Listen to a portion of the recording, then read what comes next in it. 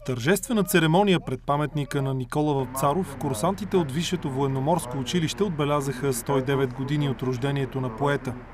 Оценката на акредитационната комисия е 9,59 от 10 и това нарежда училището на трето място сред висшите учебни заведения в страната.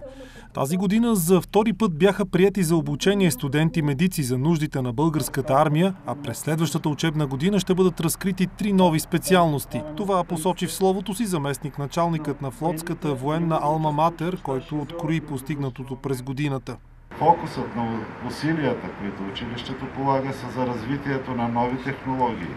Училището е първият в България научно-изследователски център, който се е ангажирал с сериозен по мащаба си проект в интерес на Европейската космическа агенция а, и който проект ще превърне училището в регионален център за разпространение на информация от новите сателитни системи на Сентинел.